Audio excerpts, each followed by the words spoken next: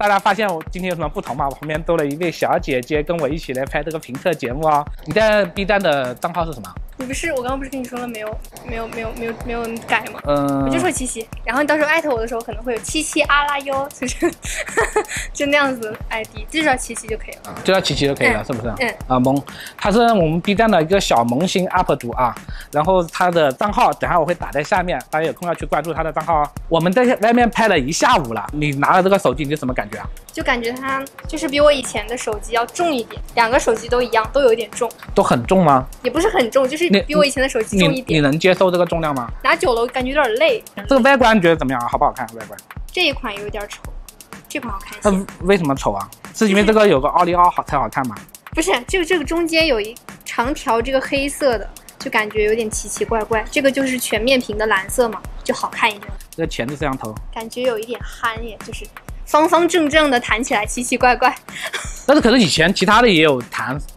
你你你是喜欢这个屏幕上是有一个水滴的，还是喜欢这种我之前？见过一种那种斜的起来的，就是感觉还蛮好看的，那个好但这种直直的起来就有点奇怪。那个好像是 OPPO 的。你反正弹出也是能接受的，对，能接受。能接受是吧？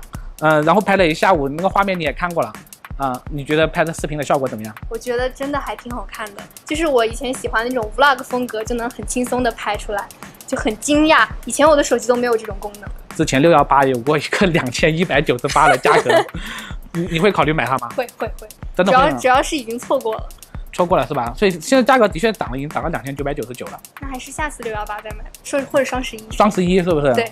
如果是紫色的话，你会你会选蓝色还是紫色？我这里没有那个紫色的。淡紫色吗？对对，淡淡了，那应该是像有点像樱花的那种。哦，那还是淡紫色好看，直接改变，你这变得也太快了。这个感觉是适合男生，特别是这个就适合男生。对这种蓝色，因为我是男生嘛，我肯定会选蓝蓝色啊。对对，它这是紫色跟蓝色之间，我一定会选蓝色的，我不可能选个紫色的。是的，哦，不是紫色，那个是樱哦樱花紫。那就更好看了呀，就会比紫色更好看一些。嗯，所以所以女生就还是喜欢这个。好，我们感谢七七今天来到我们的节目啊，希望下次节目还还能看到她。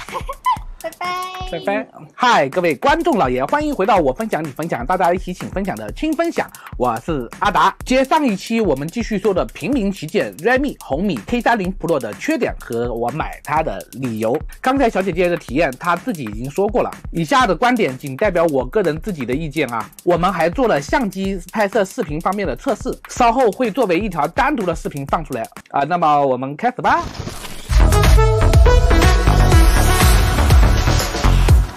也有其他的 UP 主做了 K30 Pro 的缺点合集，那我们先来一个个的看一下，呃，这些缺点是否成立。缺点一，做工差，手机缝隙能插入 A4 纸。我这里准备了一张 A4 纸，呃，这个好像是真的啊，这个缝隙确实是可以插入 A4 纸的啊。呃，我们 K20 Pro 也试一下。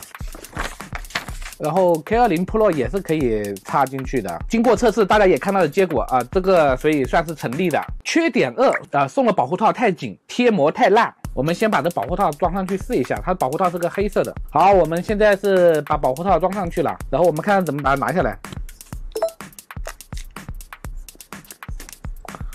哇，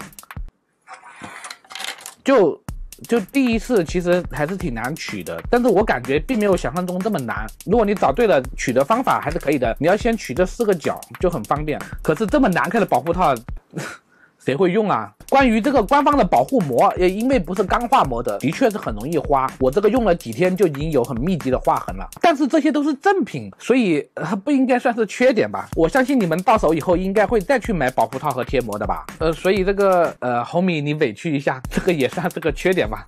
呃，这太可怜了。缺点三啊，重量太重。K30 Pro 的裸机是两百一十克，呃，上一代的 K20 Pro 是一百九十克，因为体积也大一点，大家看一下啊。呃，男生应该觉得还好，呃，女生应该会觉得太重了。现在的手机能达到这个重量的的确是不多，加上保护套大概是两百五十克左右，俗称半斤手机，呃，勉强也算是个缺点吧。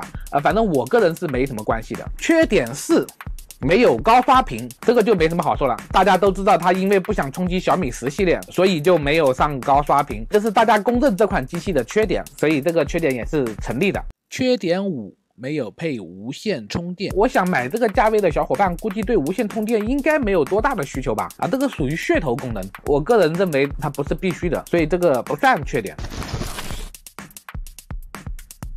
那再来说说我为什么要买它啊？第一，它有非常先进的三点五耳机口。红米，如果你有机会看到这个视频，千万千万要保留这个功能呐。后点重点没关系，但是三点五耳机口实在是太方便了。听歌就不用说了，拍摄 Vlog 还能外接麦克风。我把它放在第一，就是因为我真的很喜欢这个先进的三点五耳机口，千万不要取消。我非常的讨厌 Type C 转接，太麻烦了。如果你们也喜欢这个功能，请在弹幕里面打支持。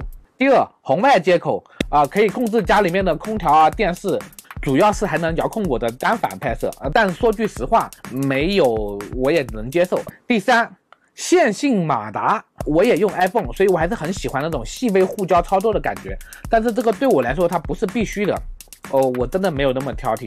第四，有五百一十二 G 大容量的黄地板，呃，因为我是 UP 主啊，主力拍摄器材就是手机，所以我有很严重的容量焦虑。买它很大的原因也是因为它有五百一十二 G 的黄地板，如果有一 T 的，我肯定就会买一 T 的。呃，但是我知道这个不是什么大众需求啊，所以这个还是我的个人需求，而不是刚需。第五。高亮屏和无挖孔全面屏，它这个屏幕是八百尼特亮度的 AMOLED 屏幕，最高峰值能达到一千两百尼特亮度，很适合室外无人机等户外的用途。没有挖孔的全面屏也是传统的特色了，玩游戏的时候也不会挡住什么按键，所以红米一定要保持住啊，千万千万不要再使用挖孔屏了。第六。五 G 网络啊，其实现在这个也不是什么刚需，毕竟五 G 的还没有普及嘛，只能说是提前进入，有比没有好了。嗯，第七，对料的相机，索尼 IMX 六八六主摄像头带有 OIS 光学防抖，还有个一千三百万的广角。我这个是变焦版，三十倍的数码变焦，普通版是带有一个长焦的微距镜头。如果普通版有五百一十二 G，我肯定就买普通版了。这个三十倍的变焦用处不大啊，画质还很差，所以我最看重的还是它的防抖。技术，这让我平时拍摄非常的轻松，和米十一样配有八 K 的视频，但是这算是个噱头，平时用不上。全手动的拍摄模式，视频和照片都是支持的，呃，这个就很良心了。而且视频有洛格模式，虽然看起来好像没什么效果，照片能拍摄弱格式，也方便后期的处理。还有什么乱七八糟的电影格式大范围模式，在我这里都是加分项啊，呃，因为我是 UP 主嘛，呃，所以我觉得以上的几点对我来说都比高刷屏重要。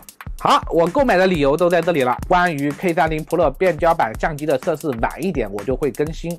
这可是我和小姐姐在户外拍摄了一下午的成果。如果你喜欢我的视频，请记得一定给我数字三连加关注，只是点个赞也可以啊。你的点赞就是我创作的最大动力。好，我是阿达，我们下期见，拜拜。嗯。